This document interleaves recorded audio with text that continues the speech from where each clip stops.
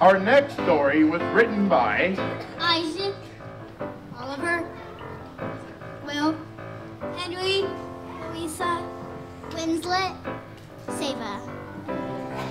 This is our story. and it's called Moby's Quest for a Wife. Moby's Romantic Quest for a Wife.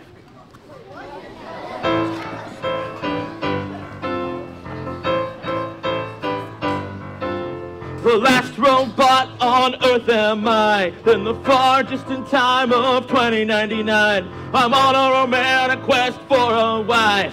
My name is Moby Lulu but I go by sunrise. I live in the cafeteria in the dark. I smell like bananas, it's so disgusting.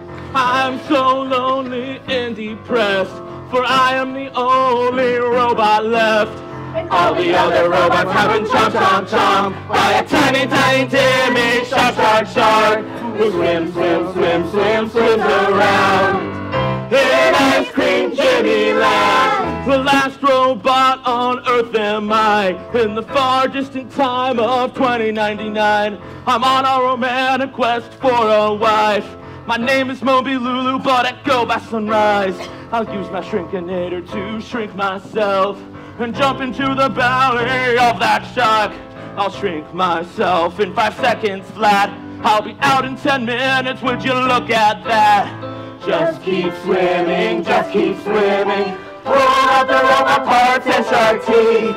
Just keep swimming, just keep swimming. Pull out the robot parts and shark. Just keep swimming, just keep swimming. Just keep swimming, just keep swimming. With all the robot parts that I got from the shark, I can build a robot wife to warm my heart. My name's Sia Daisy, sunset for short.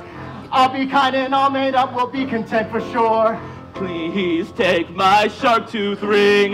Won't you be the robot wife to me, Moby Lulu sunrise of the year 2099?